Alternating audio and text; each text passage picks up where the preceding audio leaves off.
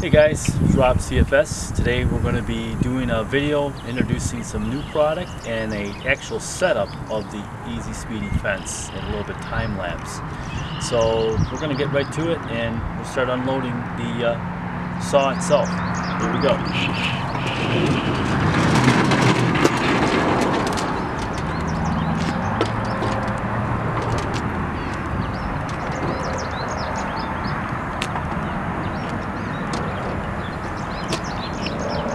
Here's a new product we have here. It's the quick handle.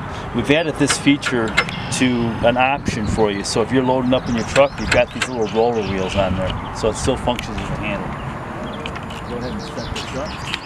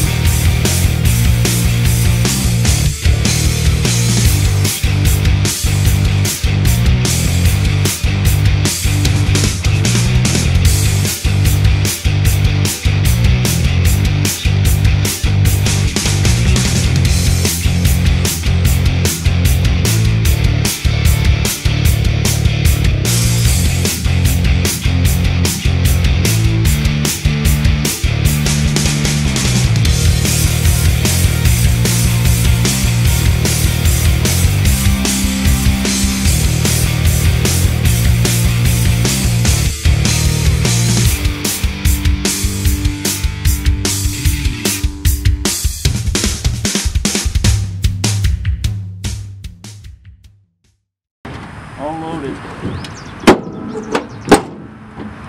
That was 20 feet of support.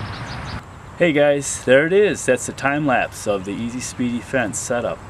Hey guys, all the products in this video will be a link in the description below. If you have any questions or comments, leave them in the uh, comments below. We'll try to answer any questions you have. Hey, that's the two new products introduced in this video too. That's a dolly. We be able to stow all those fences and extensions away and the uh, EZ Speedy handle with the roller tip now. New feature, you can get it with or without that feature. If you're a guy in the trailer, maybe you don't need that feature, but guys loading up in trucks, I think we've shown that that's a benefit. Uh, that is CFS, EZ Speedy Dolly, and the handle. And thank you so much for watching the video. If you like the video, subscribe, share. Hey, guys, you need the best. Choose CFS. Have a nice one.